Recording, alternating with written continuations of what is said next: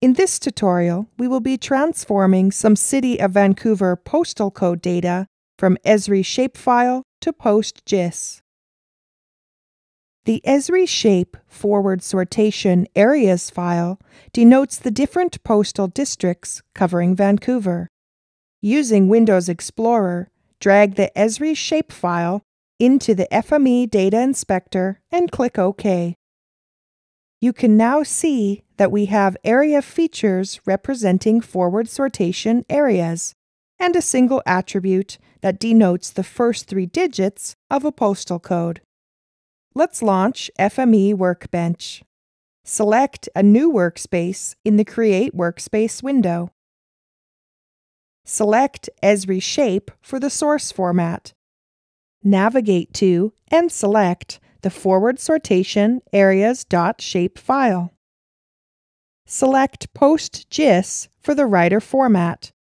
Do this by typing the name into the field until it appears within the drop-down list. From the PostGIS connection, Database Parameters, choose Add Database Connection. Enter your PostGIS credentials. The information required is host, port, database, username, and password.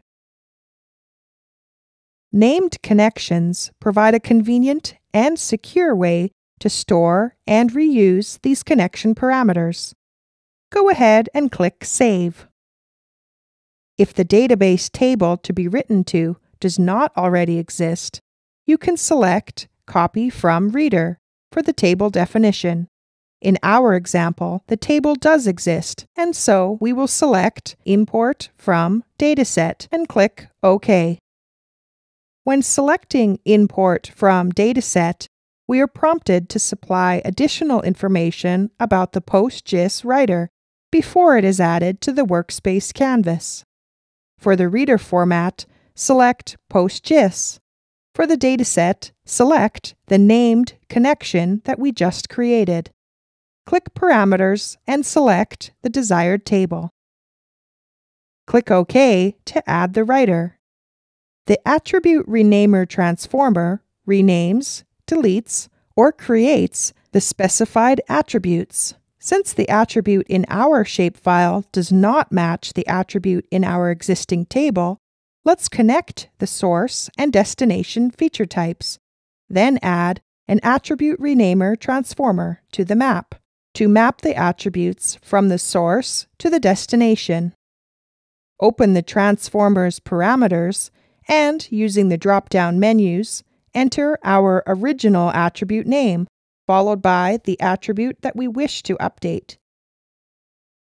Go ahead and run the workspace by clicking on the green play button. This carries out the translation. To view the output in the FME Data Inspector, right-click on the Output feature type and select Inspect.